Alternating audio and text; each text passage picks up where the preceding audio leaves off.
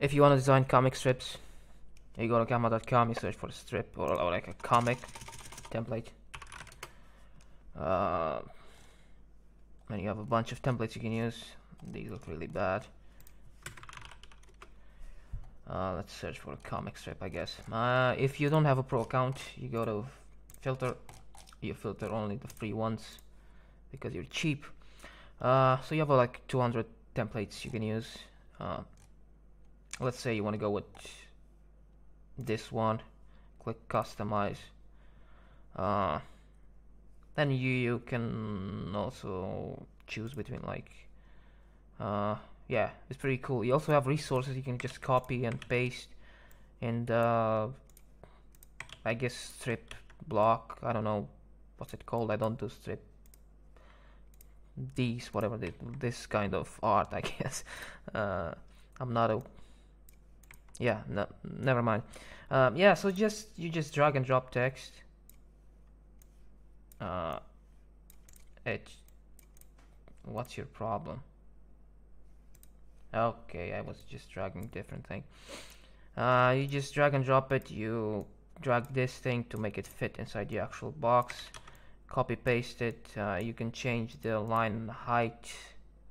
Uh, line line not that one this one yeah make it more like narrow you unbold it uh, yeah you move things around and you make it funny and you share it to your friends and they all laugh and everyone's gonna love you whatever.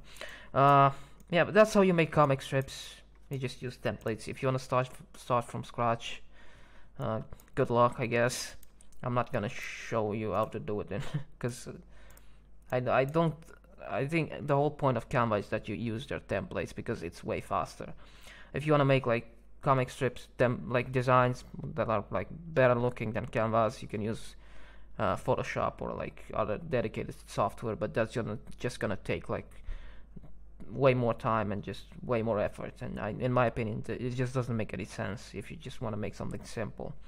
Um, yeah but yeah, once you're done editing the actual template you just go to share download and you download as png or jpeg or if you want to print them you can go pdf print and just download the actual uh, design.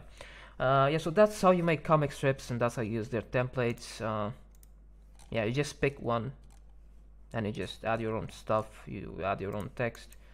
You can even have add like your own images obviously you got uploads you upload your own files you maybe want to add a dog for no reason. Now you have a dog. It's an ugly dog but yeah whatever. Uh, okay that's how you make stuff in Canva